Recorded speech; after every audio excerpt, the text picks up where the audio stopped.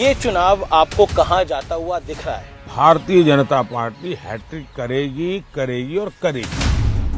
विपक्ष कह रहा है कि 400 पार की पहले मोदी जी बात कर रहे थे अब नहीं कर रहे हैं। मैं देख रहा हूँ ये आंधी है आंधी। वो नेता नहीं तय कर पा रहे हैं। वो एजेंडा तय नहीं कर पा रहे हैं। एक आपका बयान था कि कांग्रेस अगर आई सत्ता के अंदर तो ये राम मंदिर का फैसला पलट देगी। ये क्या आप ये मेरा बयान नहीं है। ये बयान है कांग्रेस के विश्वस्त सलाहकार का। और उन्होंने निर्णय करके लिया है कि हम रामलला को फिर से एक बार टेंट में बेच के ही रहेंगे। लालू जी ने मुस्लिम आरक्षण की बात कही है। उन्होंने बोला कि मुस्लिम का आरक्षण होना चाहिए। उन्होंने आरक्षण होना चाहिए इतना ही कहा नहीं था नहीं उन्होंने ये कहा है पूरा का पूरा। इस चुनाव में लगातार आपको अपशब्द कहे जा रहे हैं। औरंगज़ेब कहा गया महाराष्ट्र के एक नेता ने। आपको बुरा लगता है? यू आपको गुस्सा आता है? कि जितनी गंद उछालेंगे जितना कीचड़ उछालेंगे कमल उतना ही ज़्यादा खिलेगा आज हमारे साथ एक बेहद खास मेहमान मौजूद हैं। और ये खास मेहमान भारतीय इलेक्शन, यानी जो इस समय इलेक्शन सीज़न है, उस पर सबसे बड़ा एजेंडा है। इस मेगा एक्सक्लूसिव इंटरेक्शन में मेरे साथ मौजूद हैं देश के प्रधानमंत्री नरेंद्र मोदी।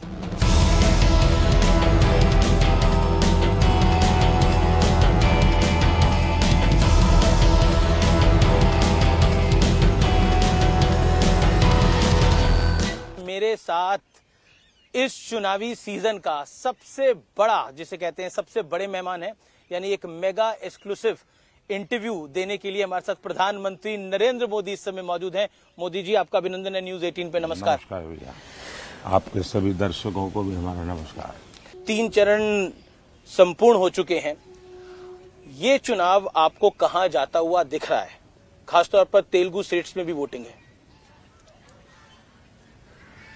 पहले तीन चरण के जो चुनाव हुए हैं उससे मैं साफ़ देख रहा हूँ कि कांग्रेस पार्टी कहो या उसके साथी कहो जी। सबके सब एक प्रकार से दिशाहीन नज़र आते हैं। अब देखिए आपको कहीं पर भी इंडी अलायंस नज़र नहीं आएगा। वो नेता नहीं तय कर पा रहे हैं वो एजेंडा तय नहीं कर पा रहे हैं। उनको लगता है कि मोदी का घोर विरोध मोदी को गाली गलोच जी। उसी से उनका काम चल जाएगा और वो उसी के आधार पर जी। चुनाव जीतना चाहते हैं। देश इतना बड़ा देश जी। आज खास करके जो नौजवान मतदाता है जी। वो ये हमेशा सोचता है कि भाई आखिरकार इतने बड़ा देश इतनी विविधताएँ ऐसा कौन नेता है जी। जो इसको संभाल पाएगा? नाम बताओ। इंडी अलायंस के लोग नाम नहीं बता पा रहे हैं। और वो कहते हैं बाद में फिर इतना भी कहते हैं कि भाई अभी एक मैंने कहीं अखबार में पढ़ा वो एक ऐसी फॉर्मूला ला रहे हैं जी। जिस फॉर्मूला में पाँच साल में पाँच प्रधानमंत्री हर वर्ष एक प्रधानमंत्री। अगर हर वर्ष एक प्रधानमंत्री वो लाएँगे जी। तो आप मुझे बताइए कि देश का क्या होगा।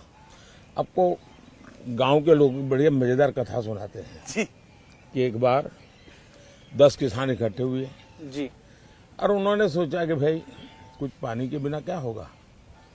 तो मिलकर के उन्होंने जो पानी की जाँच करने वाले लोग हैं तो उनको बुलाया। तो कहा भाई पानी तो निकल सकता है। अगर 100 मीटर ट्यूबवेल कर देंगे तो पानी आपको निकलेगा और पानी मिलेगा। तो फिर दसों किसानों ने कहा ऐसा करो भाई दस मीटर मेरे यहाँ गड्ढा करो। जी। दूसरे ने कहा दस मीटर मेरे यहाँ करो। तीसरे जी। दसों ने कहा दस दस मीटर कर लो सौ मीटर हो जाएगा। क्या पानी निकलेगा क्या? तो पाँच साल में पाँच प्रधानमंत्री इतने बड़े देश को वो समझ भी नहीं पाएँगे। लेकिन विपक्ष कह रहा है कि 400 पार की पहले मोदी जी बात कर रहे थे अब नहीं कर रहे हैं। मैं कल भी बोला हूँ जी, जी। अब वो ठीक है कि उनकी चिंता ये है आगे कांग्रेस का एजेंडा क्या है? 400 पार कर पाएँगे कि नहीं पर कर पाएँगे? उनका ये एजेंडा नहीं है कि वो कितनी सीटें जीतेंगे और कैसे जीतेंगे। मैंने करीब करीब हिंदुस्तान के एक तीन चार राज्य बाकी है। सभी राज्यों का भ्रमण किया है। और सभी राज्यों के भ्रमण से मैं देख रहा हूँ कि आंधी है आंधी। बड़ी आंधी। और 2019 से बड़ी वाली आंधी? 400 पार बहुत आराम से देश की जनता करने वाली है। विपक्ष 19 से 24 में विपक्ष के नाते भी विफल गया है। जो लोग विपक्ष के नाते भी विफल गए हो उनको इतना बड़े देश का कारोबार कौन देगा? लेकिन एक सवाल मन में आता है कि बीजेपी ने 2019 के अंदर 303 सीटें अपने दम पर पाई। हिंदी भाषी राज्यों में एक तरह से बहुत बड़ी सीटें भारतीय जनता पार्टी को मिली। लेकिन इस बार क्या वो रिपीट हो पाएगा? और आप देखिए जी। भारतीय जनता पार्टी जो आप इतनी पुरानी सोच के साथ बैठे हुए हो? गोवा? जी। ये क्या हिंदी भाषी है क्या? गुजरात? हिंदी भाषी है क्या? महाराष्ट्र? हिंदी भाषी है क्या? असम? हिंदी भाषी है क्या? बंगाल? हिंदी भाषी है क्या? कर्नाटक? हिंदी भाषी है क्या? आज भारतीय जनता पार्टी पूरे देश में है।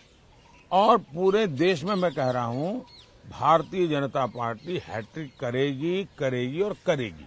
और ये ये मोदी कहता है इसलिए करेगी ऐसा नहीं। देश के 140 करोड़ देशवासियों ने तय कर लिया है। इसलिए 400 पार होना है और भारतीय जनता पार्टी भी अपने सारे रिकॉर्ड तोड़ेगी और एनडीए भी अपने सारे रिकॉर्ड तोड़ेगी। तेल, तेलुगु स्टेट्स में आपको क्या लगता है? आंध्रा में। आंध्रा में आंध्र तेलंगाना।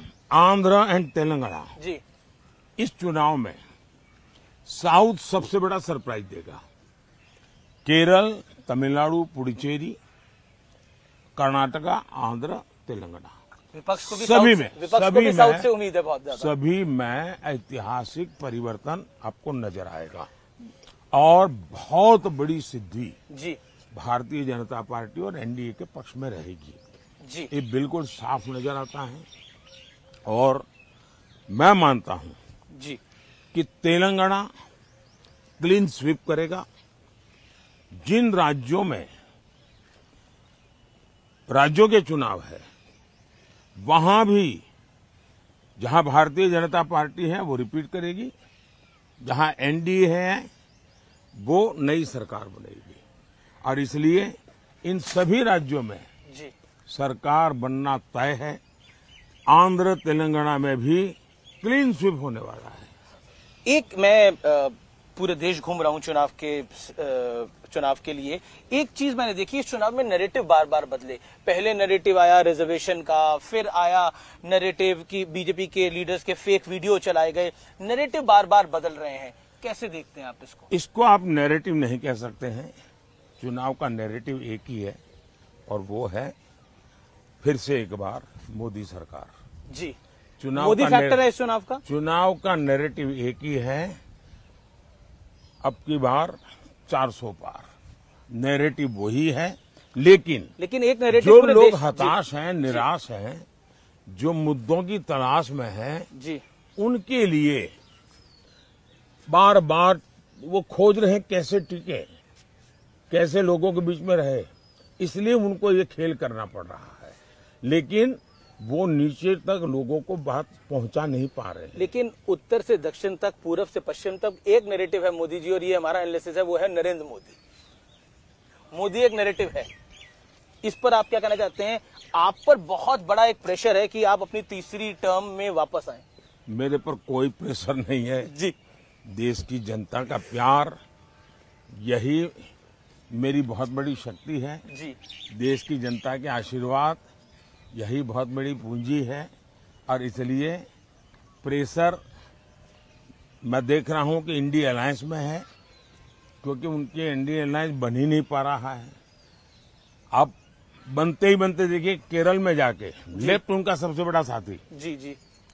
केरल में जाकर के ही उन्होंने उन पर छुरा भोंक दिया खुद चुनाव लड़ गए और मैंने पूरे चुनाव में सबसे तीखी आलोचना सबसे तीखी भाषा। जी। अगर मैंने कहीं सुनी है तो वो मैंने वायनाड की सीट पे सुनी है। वायनाड में सुनी है केरल में सुनी है जहाँ कांग्रेस की इतनी भद्दी तरीके से आलोचना हुई और कांग्रेस ने अपने इंडिया अलायंस के साथी के खिलाफ इतनी भद्दी भाषा में बोला। एक आपका बयान था कि कांग्रेस अगर आई सत्ता के अंदर तो ये राम मंदिर का फैसला पलट देगी। ये क्या आप, ये मेरा बयान नहीं है। आपने बोला इस पे? ये मेरा बयान नहीं, मेहरबानी करके मेरे मुँह में बयान मत डालिए। ये बयान है कांग्रेस के विश्वस्त सलाहकार का, जो कांग्रेस के, यानी तीस साल तक और टॉप परिवार के सलाहकार रहे हैं। उन्होंने कहा है कि ये तय है और उन्होंने निर्णय करके लिया है कि हम रामलला को फिर से एक बार टेंट में भेज के ही रहेंगे। सुपर कमीशन बनाने की बात रा, हाँ यानी रामलला को फिर से टेंट में भेज करके ही रहेंगे। ये उनके सलाहकार ने कहा है। भाई ये कांग्रेस वालों ने निर्णय किया है। और देश को पूरा भरोसा है कि इस प्रकार की करने की इनकी आदतें हैं। वोट बैंक की राजनीति के लिए कुछ भी करना इनकी आदत है। एक एक सवाल और हम बिहार की धरती पे है। आरजेडी यानी लालू जी की पार्टी और कांग्रेस का अलायंस है। इंडिया अलायंस देखने को मिल रहा है। लालू जी ने मुस्लिम आरक्षण की बात कही है। उन्होंने बोला कि मुस्लिम का आरक्षण होना चाहिए। क्या देखते हैं आप? उन्होंने। उन्होंने आरक्षण होना चाहिए इतना ही कहा नहीं उन्होंने ये कहा है पूरा का पूरा।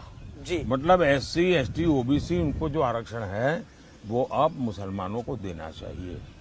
और संविधान सभा ने गंभीर चर्चा करके तय किया था कि इस देश में धर्म के आधार पर आरक्षण नहीं होना चाहिए। बाबा साहब अंबेडकर के भी विचार बहुत स्पष्ट रहे हैं कि धर्म के आधार पर आरक्षण नहीं होना चाहिए।